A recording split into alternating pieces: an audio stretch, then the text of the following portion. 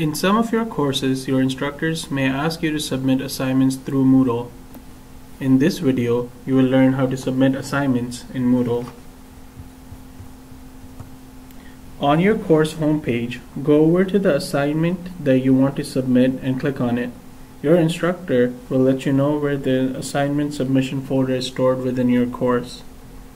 If you would like additional guidance on how to access the course homepage, please refer to the Accessing Moodle video in this series. When you click on the assignment submission link, you will see this page. Here you can see the submission status which indicates whether you have attempted the assignment or not, the grading status which indicates if your instructor has graded the assignment or not, the due date of the assignment, the time you have left to submit the assignment and the last time the assignment was modified. This indicates that if you have already submitted the assignment and realize that you have made a mistake, then you can resubmit the assignment. Please note that you can only modify an assignment prior to the due date.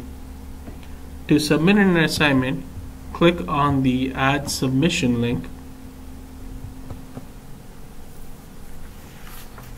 In order to submit the assignment, Find the assignment file on your computer and drag and drop it onto the page.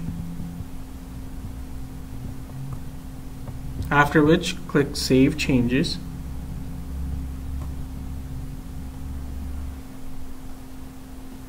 You have now successfully submitted the assignment. If you wanted to resubmit the assignment, you can click on the Edit Submission link. Congratulations on successfully learning how to submit assignments in Moodle. For further assistance, please contact the IT Service Desk at servicedesk at kpu.ca. In the next video of the Moodle series, we'll be taking a look at how to post to forums in Moodle.